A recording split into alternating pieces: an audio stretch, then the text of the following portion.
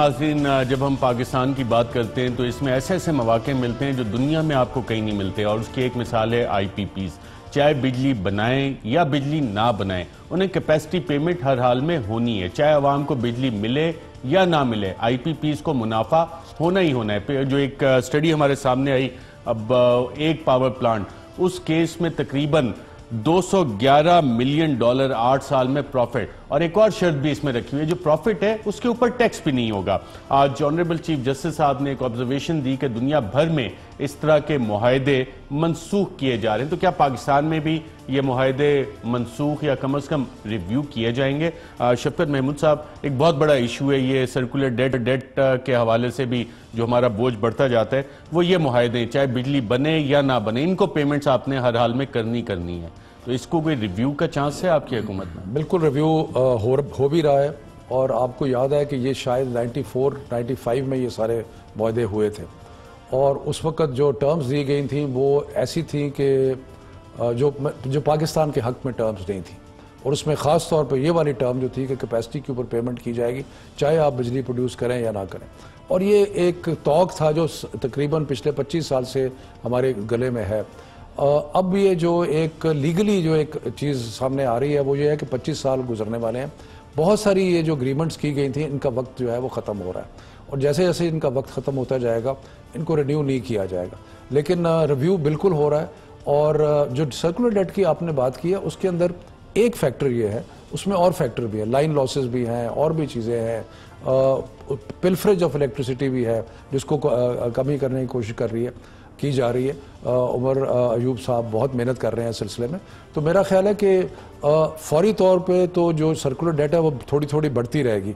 लेकिन इसका जो हजम है वो आहिस्ता आहिस्ता कम होना शुरू हो जाएगा। प्रॉब्लम ये है कि 1200 बिलियन का जो हमें विरसे में मिला है, उसका क्या करें?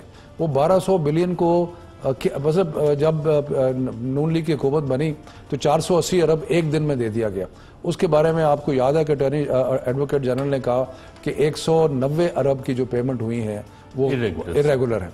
लेकिन वो हो गया उस पर डिबेट नहीं हुई हमने तो बड़ी चिट्ठियाँ भी लिखी मैं खुद पीएससी का मेंबर था उस वक्त। अब प्रॉब्लम ये है कि ये नई तो हम कोशिश कर रहे हैं बदतरीज ये कम हो जाएगी सर्कुलर डेट लेकिन वो जो 1200 कुछ बिलियन का एक हमें विरसे में मिला है, उसका क्या किया जाए, जबकि ओवरऑल आपके पास बहुत जो मुश्किल मुआशी मामला हैं, लेकिन बहरहाल इसको पहले कम करेंगे, फिर कोई तरीका निकालेंगे इसको पे करने मलिक अहमद खान साहब पाकिस्तान तहरीक इंसाफ से जब भी कोई सवाल करो और इन हवाले से वो कहते हैं, ये सारे तोहफे हमें पिछली हुकूमतों और ख़ास तौर पर नून लीग की हुकूमत दे के गई है।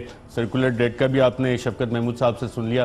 तो आपकी हुकूमत के पास सोलूशंस नहीं थे पाँच साल, क्योंकि हमें याद है जब 480 अरब की वन गो में एक दिन में पेमेंट की गई थी तो सबक वज़ीर ख़जाना इसहाक डार साहब ने कहा था, इसके बाद सर्कुलर डेट नहीं बनेगा, नहीं बढ़ेगा।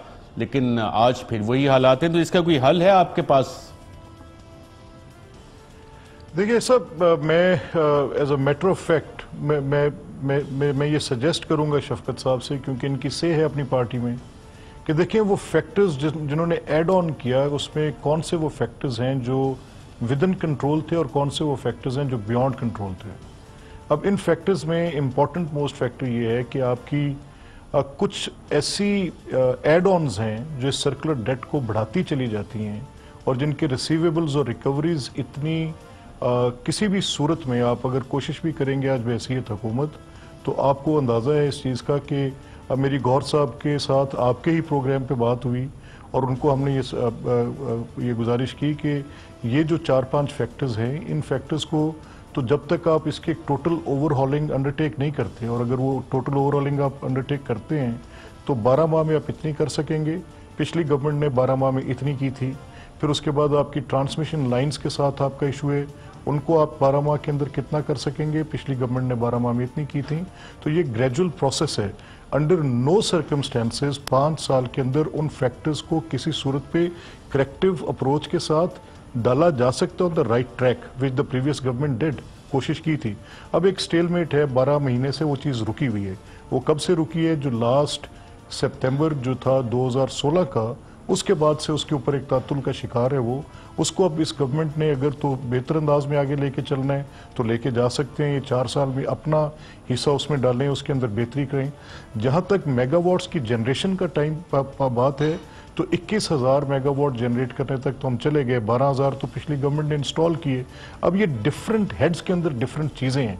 इन इसमें लाइन लॉसेस जो हैं वो मेगावाट जनरेशन से एब्सोल्युटली एक डिफरेंट चीज़ है। अब पहले हमारे पास क्योंकि हम जिस ऑयल बेस पावर जनरेशन पे खड़े थे वो महँगी थी बहुत ज़्यादा बिल्कुल इसमें एक और चीज़ भी थी आ, जो इनका एनर्जी ऑडिट है वो नहीं हो सका। नेप्रा एज ए रेगुलेटर ये कर सकता था। आपके दौरे हुकूमत में भी नहीं हुआ और अभी मैं शफकत साहब से आपके दौरे हुकूमत में क्यों नहीं हुआ? नेप्रा एज ए रेगुलेटर तो कर सकता था इनका एनर्जी ऑडिट आईपीपीस का।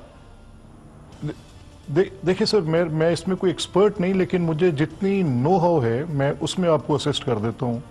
क्योंकि जब पंजाब गवर्नमेंट अपने कुछ दो प्रोजेक्ट्स को लेके जा रही थी तो हमारा एक नेपरा के साथ स्टैंड ऑफ़ हुआ था। उसमें हमने ये पोजीशन देखी कि जो नेपरा रेट्स हमें बता रही थी कि इन रेट्स पे ये आप नेशनल ग्रिड के अंदर मेगावाट्स जनरेट करके दे सकते हैं और फिर उसको हम इस रेट पर देंगे एन एक्स अमाउंट कोई भी एक्स अमाउंट थी। तो हमने देखा कि नेपरा की कुछ उस पर रेजिस्ट करती रही हुकूमत उन कीमतें जो हायर साइड पे थी हुकूमत नहीं मानती रही। एनर्जी ऑडिट इन आईपीपीस का exactly. यह हुकूमत कराने में इंटरेस्टेड होगी। मेरा ख्याल है कि अगेन मुझे तफसीलात का इल्म नहीं है क्योंकि ये शोबा मेरे पास नहीं है। लेकिन मेरा ख्याल है कि एनर्जी ऑडिट कराना चाहिए क्यों ना कराएँगे शफकत महमूद साहब मलिक अहमद खान साहब दोनों में शिरकत का शुक्रिया। यहाँ पे एक वफा